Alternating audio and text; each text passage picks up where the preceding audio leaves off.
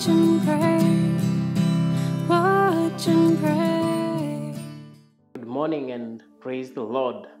Are you facing any kind of attack? Are you feeling as if your life is full of attacks and, you know, um, just the enemy working, things working against you, the enemy fighting you, people fighting you, and you are realizing that you are, you know, in an endless battle and you're wondering, what do I do when I am facing all these kinds of attacks?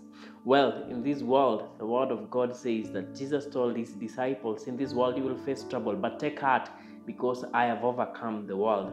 And one of the characters in the Bible that I love is David. David went through various attacks. He was attacked by the enemies, you know, uh, the Philistines. He fought with the Philistines many times. He fought with Saul, was looking for his life and actually wanted to kill him, and uh, so that he cannot be able to rise to kingship. And even after he rose to kingship, he still faced many battles. At one point, his son Absalom actually conspired against him, and he wanted to, uh, you know, kill him and take over the throne. He organized a coup d'etat to be able to take over the kingship from his father. And David went through all these kinds of attacks. He was fought for, you know, from different angles, right from, you know, uh, his family all the way to, you know, the, uh, the, the, the, the people, some people in Israel. Remember one time when he was actually being cast by a person called Shimei um, when he was running away from Absalom. And you know, we know the many times he fought with the Philistines, as I have said. In this world, we will always face attacks. That's why the Word of God tells us that we need to um, put on the full armor of God so that we can be able to wage war against any attacks of the enemy, that we will be able to stand when we face those attacks. And now, back to the story of David. In the book of 2 Samuel, chapter 22, we see a song which was written by David. Actually, it was sung by David. It is called the David's Song of Deliverance. And the word of God says, David spoke to the Lord, the gods of this song, on the day when the Lord delivered him from the hand of all his enemies and from the hand of Saul. And he said in verses 2, The Lord is my rock and my fortress and my deliverer. Verse 3, My rock, my, ro- uh, my God, my rock in whom I take refuge, my shield and the horn of my salvation, my stronghold and my refuge, my Savior. You save me from violence. Verses 4, he says, I will call upon the Lord who is worthy to be praised, and I am saved from my enemies. Now, listen to this when David was facing all these attacks that he faced from all his enemies, external enemies, the Philistines, the people from other nations, when he was attacked by Saul, and even later on in life when he faced, you know, this attack from his own son, David knew something. He knew that the Lord was his rock and his fortress. A fortress is, um, you know, a source of security. He says that the Lord is my rock. The Lord is my fortress and is my deliverer. He's the one who sets me free. He's the one who, um, you know, helps me to be able to escape every attack of the enemy. He goes on to say in verse 3, My God and my rock in whom I take refuge. When the attack seems so hard and it's as if I am losing it all, the Lord is still my refuge. I can run to Him. And uh, in another portion of scripture, he talks about God being a very present help in times of trouble. Praise the Lord Jesus. And he says, He is my shield. The shield is what you use to defend yourself, and the horn of my salvation. He is my stronghold and my refuge, my Savior. And he says, You save me from violence.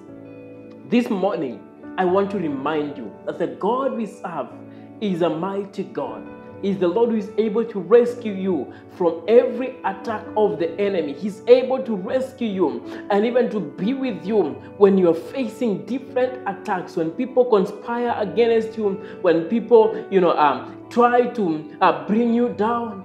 God has power to be able to protect you and to cover you even when you go through these attacks. He told um, uh, he spoke to the children of Israel through prophet Isaiah and said, Even when you go through the waters, I will be with you. When you go through the fire, yes, the fire may come, but I will be with you, and the fire will not burn you.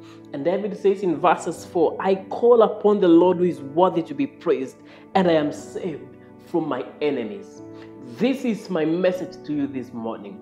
Whenever you face any kind of attack in your life, it could be conflict arising in your family. It could be conflicts in your workplace. It could be actually people rising up against you and people, you know, trying to uh, bring you down in whichever way.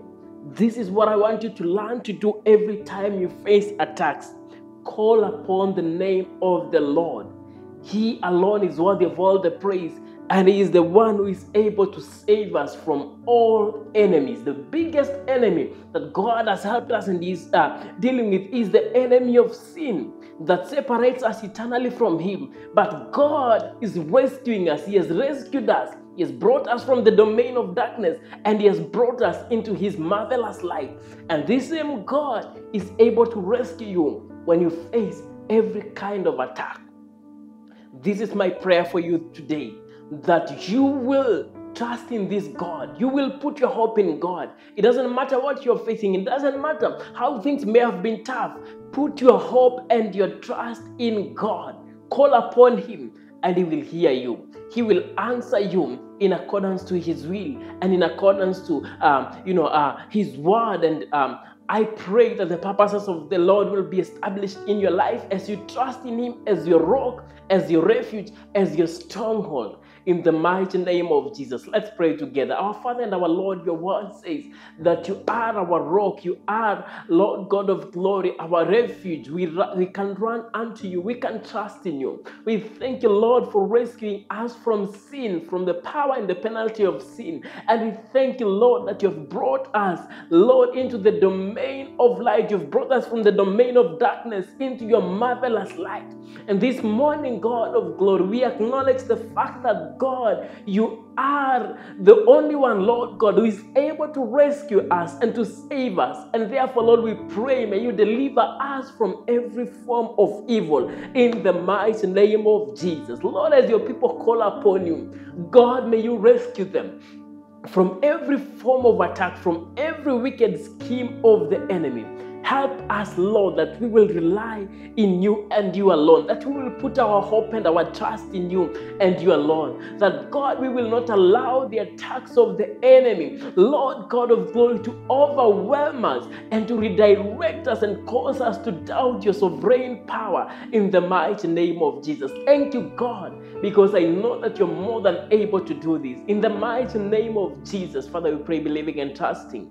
Amen and amen. May the Lord bless you. Have a great day today. Remember, this Sunday we are here in church. Come, let us fellowship together. Uh, first service starts at 7:30. Our second service from 9:30, and we also have a special youth service from 12:30. Purpose to be here, and may the Lord bless you.